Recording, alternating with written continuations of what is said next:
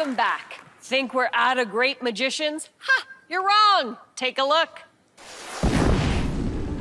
When I first started out in magic, I started out with birds, I started out doing manipulation, a lot of standard magic. I had a partner for years, and uh, like Penn and Teller, we were a magic duo. We make some comedy with magic. Those are really good times. But as you get a little older and you start to look back at your life, there's some things in my life before I became an entertainer that weren't all that funny to me. There was loss, there was loneliness, addiction. You know, when I hit bottom and I was looking for something, you know, I remembered the joy that I'd taken in my childhood hobby, you know, magic, you know, and that's how I changed my path.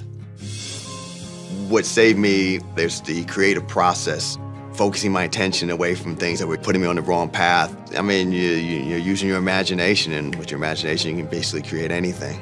That's a story I tell in my magic now, like with the trick I'm doing tonight. Uh, it's the most personal piece I've ever done. I think I know who I am now. Let's hear it for Puck. Well, I grew up in foster homes until I got adopted at the age of five. Uh, my adopted family was wonderful, uh, especially, especially my new dad. Uh, he's the one that took me to my first magic show and bought me my first trick. Uh, my new dad was my biggest supporter, and he was my biggest fan. Uh, he even started booking my shows. I was called Puck the Young Magician. Uh, when I was 14, my dad passed away. It was at that time that my love for magic kind of faded as well, and I honestly didn't touch it again for another 20 years. Know, during that time, I tried some other things. I was in the army for a little bit. I went to college, and eventually I found my way back to my first love, you know, which was magic. Now, 35 years after my adopted father had passed away, I stumbled upon some information that led me to the identity of my biological father, and I was surprised to learn that he was a famous jazz musician, and I was named after him. Uh, he was a legendary Billie Holiday's pianist, and his most famous song has become a jazz standard. Now, unfortunately, though, he died before I was able to find out who he was. But I like to look at it like this. In my life, I was blessed. You know, I had two earthly fathers. I had one who gave me the DNA to become an entertainer, and the other who gave me the courage to follow my dreams. So tonight, I'd like to dedicate this next piece to my two dads.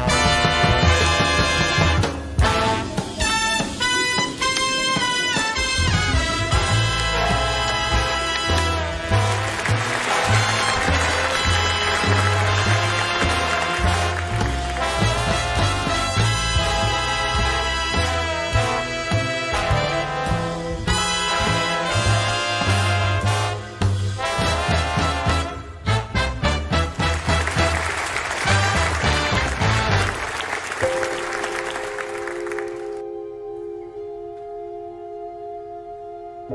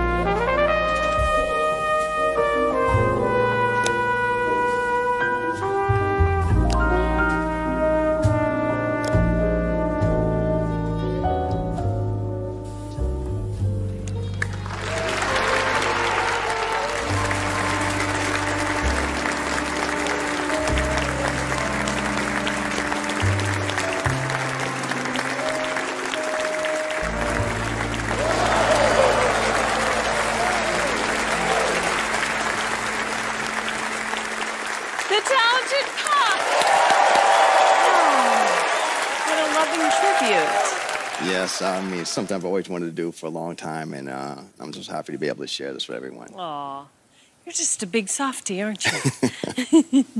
Is this a way of connecting with your birth father? Um, yeah, definitely. I mean, my birth father and the father who raised me, my adoptive father, you know, because without them, I definitely would probably not have had the talent to do what I do now. You must inspire a lot of people.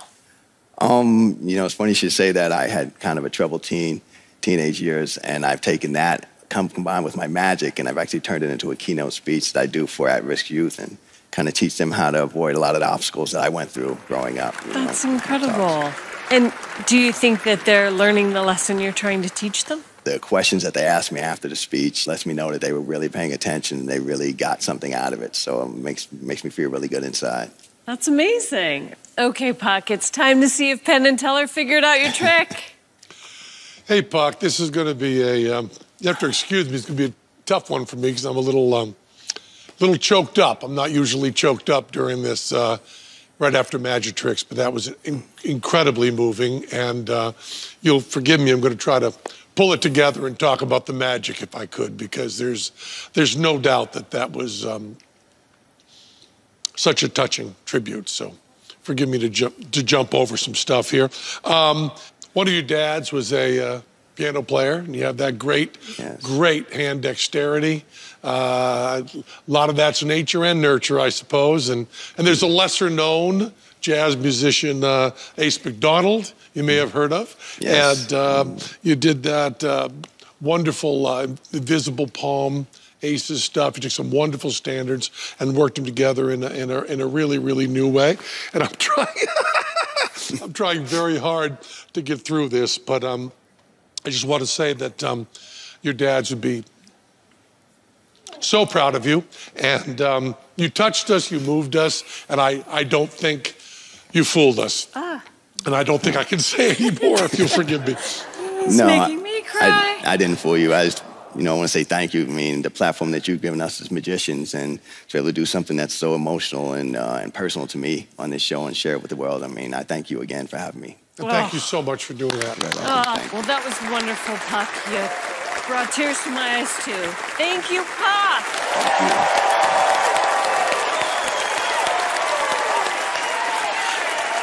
We're taking a quick timeout. We'll get back in the game when Fool Us returns.